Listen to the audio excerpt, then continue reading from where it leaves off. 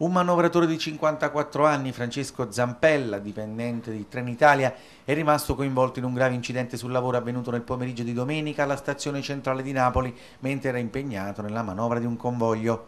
L'uomo, soccorso, è stato portato subito all'ospedale Loreto Mare, dove però è morto poco dopo il ricovero a causa della gravità delle ferite riportate. Secondo quanto si è appreso, l'incidente è avvenuto nel primo pomeriggio non lontano dalla zona platea di lavaggio. Sembra che l'operaio, originario di Nola, per cause ancora in corso di accertamento, sia finito per terra schiacciato tra i respingenti di due vagoni. Gli agenti della polizia ferroviaria del compartimento di Napoli hanno ascoltato subito dopo alcune persone per ricostruire con precisione la dinamica della tragedia.